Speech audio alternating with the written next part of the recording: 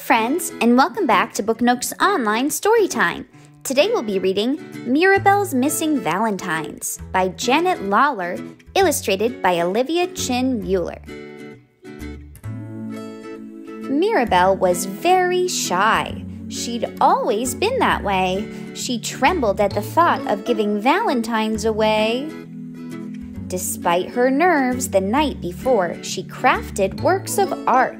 She signed the cards from Mirabel. On each, she drew a heart. Have you ever made valentines like Mirabel? She's working really hard to make them very special. When morning came, she got up late. She didn't want to go. She dawdled over breakfast. Her whole routine was slow.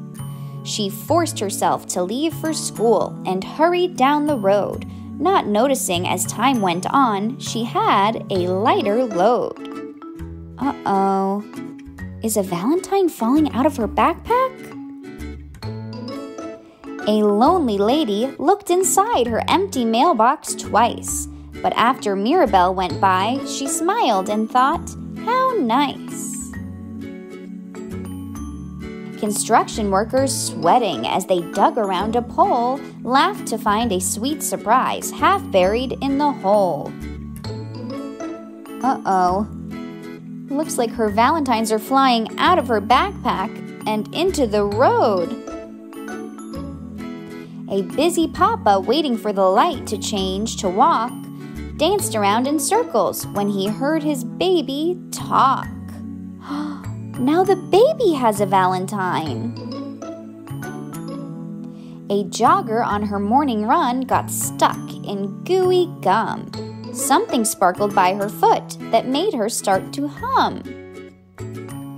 She found a Valentine too.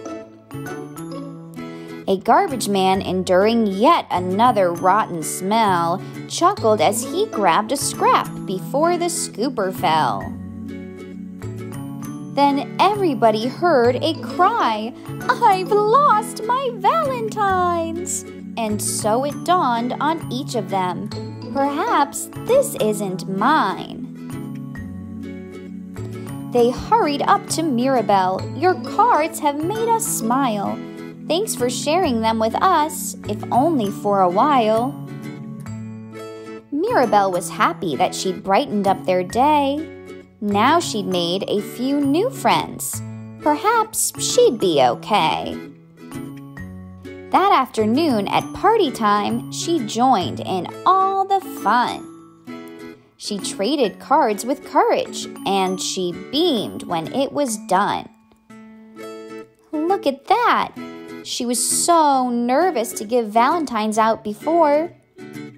I think that she's having a lot of fun. It looks like her friends are really liking the Valentines too. Skipping home when school let out, she paused atop the hill and realized, to her delight, her sack was fuller still. Her friends gave her a lot of Valentines to carry home for herself.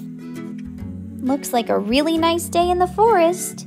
Happy Valentine's Day! The end.